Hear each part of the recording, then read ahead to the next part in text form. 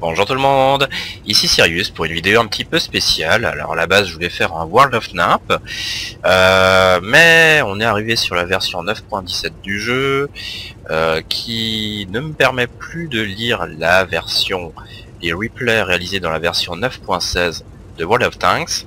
Donc on va se contenter euh, d'une bataille réalisée sur la version 9.17 pour élire, eh bien tout simplement le mais vraiment le plus gros fumier de l'année.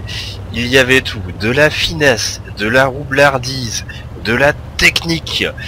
Euh, je vous laisse découvrir euh, la chose au courant de cette bataille sur Prokhorovka, bataille de rang 10 tout de même. Euh, et vous allez voir que ça va pas se passer tout à fait comme prévu. Alors on va regarder d'abord la bataille ensemble. WZ132 et Batchat 25 tonnes font le boulot de scout. Pas de problème. Euh, VZ111, RU euh, spoté. Euh, le VZ, bon ben il passe les rails. Moi j'essaye déjà de me placer en, contre-arty. Je regarde un peu la répartition de mon équipe sur la minimap. Bon ben on a un petit rush de de trois chars, trois chars lourds pour la colline, pourquoi pas. On a un IS-7 par contre, un IS-7 qui reste en A2. Euh, je zoome un petit peu la carte, hein, donc un IS-7 en A2 c'est un petit peu aberrant. Et on a des chars qui sont spotés. Donc je réalise une mise au point. Et euh, bah, je me dis tiens donc j'ai bougé. Je, vous remets 8 secondes en arrière. Voilà, donc on repart 8 secondes en arrière, les chars sont repérés. Et euh, donc je fais le focus sur ce léopard et the VT of. Et là, regardez bien. Tac Vous voyez? Il y a eu un micro, micro de, de, mon arty. Et je me dis, mais c'est bizarre. Euh, doit être un bug. J'ai perdu la mise au point. Et là, je me dis, bah, la mise au point est super lente, en fait. Euh, alors, j'ai l'habitude d'utiliser mon arty. Et là, eh ben, j'ai compris. Euh, regardez bien l'IS-7 qui s'était collé à moi. Il s'était collé à moi, l'IS-7 allié s'est collé à moi, m'a empêché totalement de faire la mise au point euh, rapidement, dans de bonnes conditions, euh, pour one-shotter le VT of Panzerfear. Alors one-shot peut-être pas, mais bon en tout cas ça m'aurait permis d'avoir un tir beaucoup plus précis que j'ai fait là lorsque les chars n'étaient plus spotés. Bon, bah, ça commence bien. On va, continuer le replay. On va continuer le replay. Euh, donc vous allez voir que je vais très vite m'exciter dans le chat. Euh, euh, je, bon, j'indique gentiment de reporter ce petit IS-7 en anti-sportif ou boat, ce que vous voulez. Hein. Et j'essaye de me concentrer sur la partie. Alors l'IS-7, ben non, ben, je le regarde sur la carte, je regarde la minimap plus euh, que les départs de tir d'arty, plus que les chars rouges. Donc quand on a un joueur comme ça dans l'équipe, euh, bah, je peux vous assurer que bah, on n'est pas on n'est pas tranquille. On n'est pas tranquille, n'est pas concentré et on perd en efficacité. Et là qu'est-ce que je remarque? Eh ben Clias 7 en fait, il euh, regardez bien la minimap toujours, on repart 8 secondes en arrière. car oui, vraiment je regarde plus le jeu, hein, je regarde la minimap. L'IS-7 c'est littéralement collé à la batch 155-58, à l'artie française de tier 10 qui peut quand même être utile pour mon équipe sur Prokhorovka. Euh, ça avec les scouts, normalement les artis sur Proco avec les scouts, c'est vraiment la, font vraiment régner la loi. Et eh ben la batch 155-58, elle a un petit peu plus de mobilité que moi, mais elle se casse. Et du coup bah, j'ai réalisé un tir pourri, pas concentré. Euh, le batch 25 tonnes a également repérer euh, la scène, hein, le, joueur du Team Rice. Euh, et puis là je fais comprendre que Ali est 7 qu'il est one shot. et là regardez bien mon obus. C'est un obus HE qui est en train de charger. Je vous laisse deviner ce que je vais charger en prochain obus. Hein. Donc là je vais essayer de me concentrer sur la bataille. Un batchet 25 TAP à éliminer. Il y a du Léo. Euh, le WZ-132 semble essayer de faire son boulot de scout en allant dans la case C1. Donc je me dis, bon, j'abandonne peut-être pas. Et là, bah, je découvre une nouveauté sur World of Tanks. Vous voyez que mon cercle, mon trait est rouge. Le trait de visée est rouge, on repart un petit peu en arrière. Et là je me dis, mon trait est rouge. Mais qu'est-ce qui se passe? Il n'y a pas de montagne sur Protorovka. on peut, peut tirer partout pas sur cette map. C'est vraiment une map partie. On peut tirer n'importe où, il n'y a pas un char planqué. Et pourtant, vous voyez que mon ma visée est rouge. Et je me dis merde, c'est nouveau dans le jeu sur la version 9.17. En fait, il y a une très bonne nouveauté. Lorsqu'on a un char ami dans l'axe de son canon, eh bien la visée devient rouge en arty, donc ça, indique qu'il ne faut pas tirer, qu'on ne peut pas tirer. Mais là je me dis, ben merde, l'IS-7, euh, ben, euh, même s'il se met devant moi, j'ai une artille énorme, normalement je peux tirer au-dessus de lui.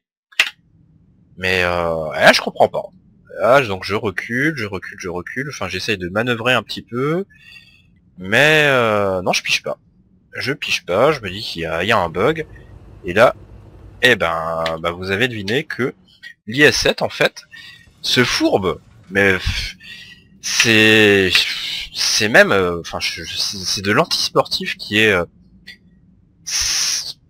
c'est indescriptible. C'est euh, c'est le mec antisportif le plus fin que j'ai jamais rencontré dans World of Tanks. Voilà, donc je vais vous expliquer pourquoi. J'ai un obus HE qui est chargé. Donc l'IS-7 place son canon euh, dans l'axe du mien, euh, j'ai à peu près, euh, avec cette artille, 10 mètres 50 de splash. Donc là, si je tire, qu'est-ce qui se passe?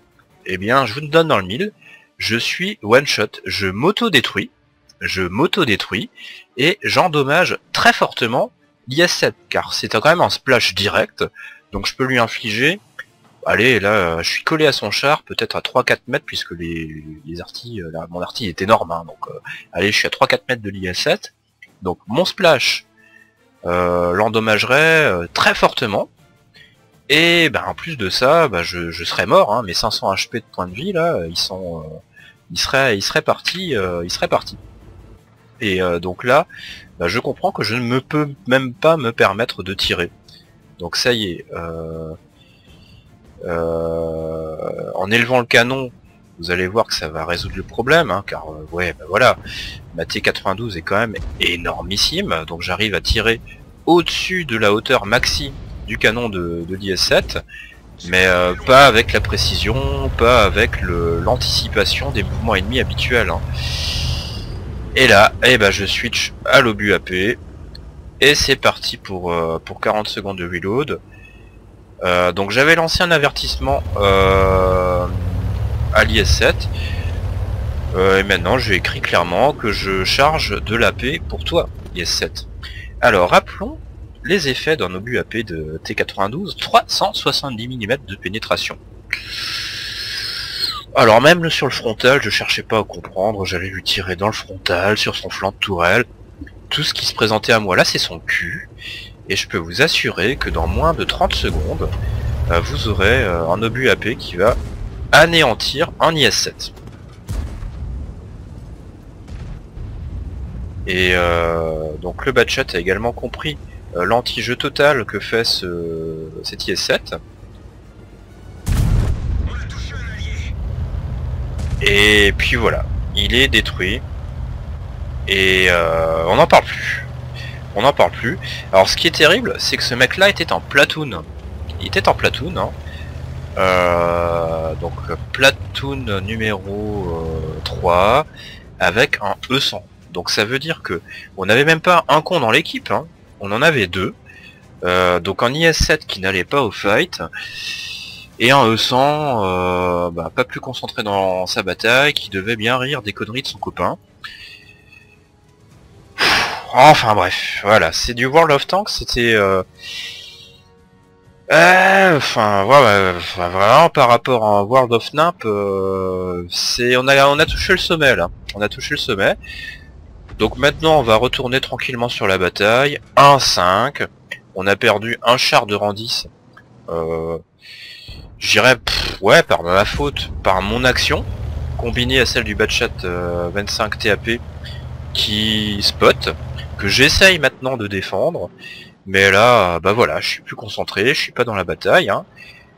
Euh, jouer un article, qu'on le veuille ou non, ça nécessite un petit peu de finesse, de l'anticipation, et puis euh, d'avoir des mains qui ne tremblent pas, car la visée se perd lorsque la souris bouge de manière incontrôlée sur le tapis de souris.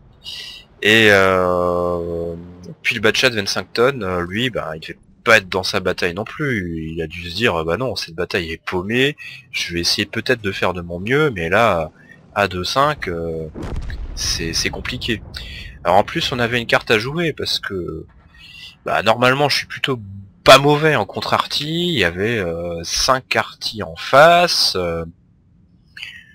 euh, j'aurais bien, non, je pense que j'en aurais bien pataté une ou deux là au courant de cette bataille. Hein. Euh, moi, je profite de mon reload pour observer la position des artis ennemis. Euh, là, euh, maintenant, je suis en défense totale en essayant de, tirer sur les moindres chars spotés. Donc, on est arrivé vraiment à une situation totalement aberrante où Ouais, il y avait rien à faire. Là, maintenant, on se fait rusher en VT. Fear. Le léopard ne doit pas être très très loin. Euh, un IS-7 qui doit être au centre mais qui est pas spoté. Et puis euh, on va encore essayer de passer un petit tir pour la gloire. Bah en tout cas merci à ce batchat hein, de m'avoir aidé à éliminer ce IS-7 qui était le plus gros ennemi de notre équipe. Hein. Les ennemis ils pas en face hein, pendant cette bataille. Ils étaient bel et bien dans notre camp. Euh, L'IS-7 euh, piloté par euh, Corp 12, euh, Corp 12 comme vous voulez. et puis bah, son couillon de copain là, Gabor 1021. même pas des bots. Hein. Vous voyez, même dans le chat, il continue à se foutre de notre gueule. Donc c'est même pas un bot. C'est même pas un bot. Mise au point fait. J'ai même pas éliminé ce canon. Et euh... puis l'IS7 me dit ouais t'inquiète pas j'ai des crédits pour toi, des connards comme toi, euh, j'ai des millions de crédits en compte, hein, je pourrais en éliminer des centaines. Euh... Donc euh, bah en tout cas si vous pouvez faire un petit ticket hein, sur Wargaming par rapport à ces deux joueurs, n'hésitez pas. Si, si, vous avez envie de faire un petit mail à Wargaming pour l'inviter à regarder ce replay, pourquoi pas, n'hésitez pas, je pense pas me faire sanctionner sur ce coup-là. Euh, un team kill, j'en ai fait un volontaire, vous l'avez vu en vidéo, et puis vous aviez vu pourquoi. Là c'est le deuxième, cette année, en 2016, et sans regret, vraiment avec plaisir. Voilà, donc là bah, c'est le rush final, hein. encore en viol de Sirius sur Prokhorovka. Euh, pas en Scorpions, mais euh, Scorpion Gay, euh, c'était un beau viol, là... Ouais, c'était en viol euh, d'une arty qui était en reload, euh, c'est même pas drôle. Vous allez voir ça. Euh, allez, je vais quand même vous trouver une bataille un petit peu plus légère après celle-là. Mais donc là j'attends en spot, je, surveille le, déplacement du grill 15 sur la map, j'essaie d'anticiper l'apparition de l'IS-7 qui est tout juste en dehors de mon cercle de visée. Là, je vais essayer de le shooter. Je suis nouveau à peu près concentré. L'IS-7 est bien positionné derrière un petit monticule, mais il disparaît. Il disparaît, pas de bol. Le grill ne bouge plus, il est complètement campé dans un bush. Secteur C1. Et là, je sais que l'IS-7 devrait me spotter, que je vais être pris par surprise. Euh, on peut bien se défendre contre les chars euh, pré-spot. Je vous passe les commentaires du chat, hein, si vous avez envie de les lire, lisez-les. Euh, donc on, ouais, avec le T92 on peut bien se défendre des chars qui arrivent tranquillement comme ces IS-7 lorsqu'ils sont euh, spotés régulièrement. Mais avec 8 secondes de mise au point c'est compliqué. Donc là je vais essayer de lâcher mon obus qui malheureusement tue une taupe ou deux. Et euh, bah, c'est la fin de la bataille. J'évite une contre-artie. Et ouais bah je vais me faire violer. Il restait plus que des arties en face hein. Euh, il restait deux IS-7, euh, deux chars lourds à éliminer. Franchement, c'était jouable. Hein. Euh, restait deux IS-7 à éliminer, ce qui était tout à fait jouable. donc on a perdu de peu cette bataille quand même. Hein. deux IS-7 à éliminer. On a éliminé ces IS-7 avec l'aide du batchat. Euh, du spot du batchat euh, après il n'y avait plus qu'à contre-artiller, le batchat pouvait faire son travail. On était quand même pas loin de la victoire, hein, l'air de rien. Euh, sur cette bataille, je réalise quand même 2000 points de dommages alors que Vraiment les trois quarts du temps, bah, j'étais complètement bloqué. voilà, faute à, à Corpse Wolf. Hein. N'hésitez pas à reporter ce joueur, à le bannir à vie, faites-vous plaisir. Voilà, donc on va partir sur une bataille un petit peu plus légère après celle-là, qui va finir, elle, en rigolade. Allez, à tout de suite. Ouais, donc voici les résultats de cette bataille livrée à bord de la T92 euh, contre l'IS-7, hein, qui était vraiment la verrue de le joueur rouge le plus puissant, euh, vraiment le plus gros des connards de l'année. Euh, il y avait rien à faire, bon ben c'est franchement c'est on a éliminé les les euh, les derniers IS-7 là euh, après il y avait plus que des artis. Et la victoire était totalement possible hein, mais euh, qu'est-ce qu'il a fait son confrère? 1300 quand même il a mis deux shoots bravo. Donc le Batchat 25 tonnes clairement il pouvait pas faire son taf et doit finir dans dans le rouge 1071, euh, donc il, a éliminé la moitié de l'IS7, euh, 1079 pour ma part. Donc euh, on s'est partagé le sale boulot. Euh, merci à lui, parce que clairement j'étais prêt à assumer la réparation de l'IS7 tout seul, le, coût financier, car cette bataille, oui, et du coup elle a un énorme coût financier. Réparation de mon véhicule, 31 000 crédits. réparation de l'IS7, 19 891 crédits, 53 000 de consommables et donc 73 826 de crédits perdus au courant de cette bataille, mais avec grand plaisir, mon coco. Allez, je vous dis à bientôt, et puis je vous donne, dis surtout à, à tout de suite pour la vidéo fan, c'est parti. Voilà, on va partir sur une bataille un petit peu plus légère sur El Halouf. Euh, donc à bord de mon Cromwell B. Bon, mon Cromwell B qui clairement euh, scout, hein, puisqu'on est euh, sur un matchmaking euh, tier 8. on a qu'un 59-16 en scout. et puis, donc je suis en platoon avec Gizmo 2 et le tankiste du 02. Euh, qui ont euh, tous les deux sorti leur nouveau euh, TD suédois, l'IKV 65 version 2, donc un TD de tier 6, qui est un canon qui envoie quand même du, pâté. Un canon assez violent par rapport à son à sa classe. et je leur dis bon bah écoutez les gars, moi mon Cromwell sur El Alouf, à part ramasser les restes en fin de bataille, euh, bah, il va être, il va se comporter en excellent scout. Donc je vais essayer de vous faire du spot. Euh, je vais essayer de faire un boulot un petit peu plus efficace que le boulot du 59-16 qui, je vous admire à regarder la minimap, est encore en base après le début de la bataille. Et là, ben, mon Cromwell, bon, ben, c'est 4 compétences, 415 euh, mètres de vue, camouflage à fond, une mobilité qui est exceptionnelle, euh, une capacité de spot qui est pas mal, comme vous le voyez. Mais euh, il faut qu'on tire sur les chars que je spot. Et là, malheureusement, le tankiste du 02 et euh, Gizmo n'avaient pas d'axe de tir sur cette SU 122-44. Euh, potentiellement, en char en E2 aurait pu tirer sur ce sur ce TD, mais non. Donc vous voyez, je fais que du spot. Et, euh, et puis là, bah, j'en avais marre, hein. donc je me dis, bah tant pis, je vais faire autre chose que de spotter. Euh, pour moi, il n'y avait rien devant moi.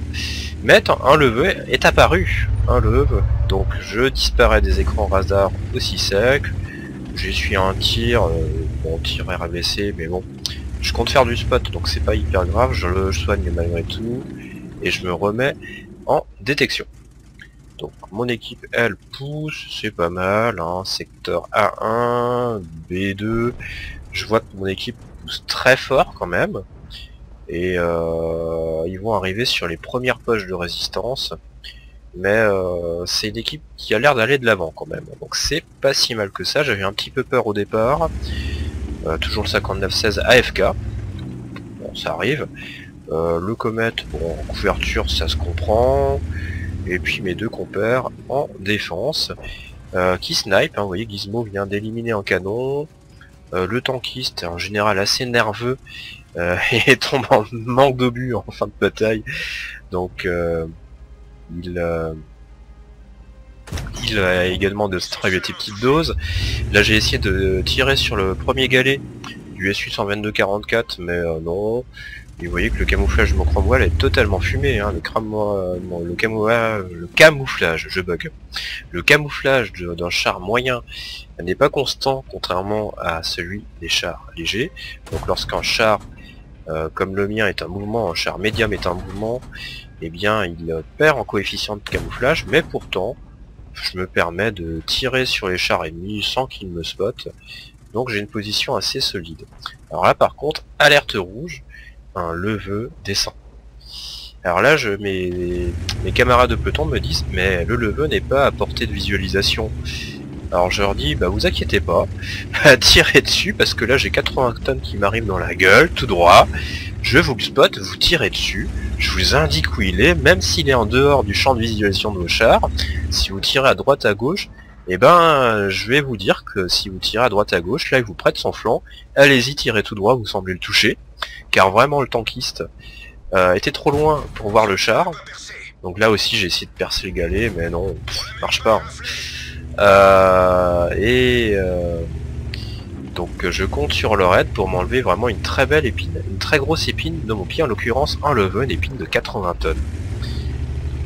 Alors le tankiste me dit Ouais, je vois pas le char, tire tout droit, vas-y Démerde-toi Shoot, shoot, shoot et voilà, donc au final, euh, le level qui n'était pas à portée de visualisation de le tankiste, eh ben, était touché plus d'une ou deux fois par le tankiste, euh, et son TD de rang 6. Donc euh, tout en collaboration. Merci à eux. Donc le 59-16, il devait être couché sur le flanc parce qu'il... parce que il rigole bien dans le chat et a priori un char est allé à sa rencontre euh, pour euh, profiter de son aide. Donc là, bah, je vais éliminer tranquillement un petit A44. En fait, non, j'ai pas eu le temps. Quelqu'un l'a eu à ma place. J'ai ricoché sur lui. Et puis on va arriver... Et euh, ben sur la partie finale, c'est là que ça va être drôle. C'est là que ça va être drôle. Vraiment la fin est épique. Je vous invite à regarder la, fin de cette bataille. Alors en Cromwell sauvage, se dirige vers le secteur euh, C10. C'est assez vu, c'est repéré. Là-bas, on a d'abord un TD qui me prête ses fesses, donc euh, allez, une patate. 3 secondes 5 plus tard, je sais pas, hein. je connais pas le temps de reload de mon char. Deuxième patate. Troisième patate. Quatrième patate. Peut-être une dernière. Eh ben non, c'est le tankiste qui me l'a volé. Euh, non, c'est Gizmo. Gizmo me l'a volé. Et là, donc, euh, viol final euh, du, Cromwell. Qui se cache pas là, et qui donc doit se cacher en haut.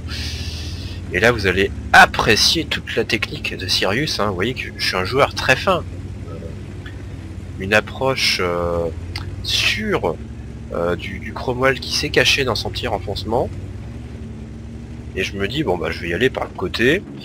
Ça semble profond là en dessous, mais il euh, n'y a pas beaucoup de pente. Et là, bah, je vais essayer de, tirer sur ce char, mais... Et non, je glisse Et je pensais lui tirer dessus dans la, dans la, glissade, et non Et splouch euh, Alors, le tankiste n'a pas fait mieux. Un char à l'eau, deux chars à l'eau. Euh... Lol, noops. Ouais. Ouais, ouais, on peut dire ça. Donc, un char à l'eau, mais je vous invite à regarder la suite, car euh, non, non, on ne va pas caper. Euh, les joueurs vont, vont sortir du cap. Alors Gizmo arrive, je lui dis d'aller par le dessus, et il se rate. Le 59-16 se rate aussi, il a rien foutu de la partie, lui il a campé pendant une heure euh, dans la carte. Et enfin, le FCM 50T, un maître, un grand maître, un concessé, bah il y a eu le char mais il se rate aussi. voilà, bon c'était du grand n'importe quoi. Ça permet de se détendre un petit peu par rapport à la bataille livrée en T92. Et puis je vous dis à bientôt pour de prochaines aventures. Ciao ciao Voilà donc les résultats de cette bataille, euh, une fin vraiment épique, 1 x 2 pour euh, euh, quand même un petit travail de, de spot ouais, qui, qui a permis peut-être de faire un peu la différence. 1800 points je pense en spotting dans ces eaux-là. 1755, bon c'est pas si mal que ça avec un médium. Euh, 30 000 crédits bénéfices net et puis bon le x2 donc voilà, vraiment pas la partie euh, colossale en termes de dégâts, mais j'espère que cette fin vous aura détendu, et euh, puis euh, bah, je vous dis à bientôt. Ciao ciao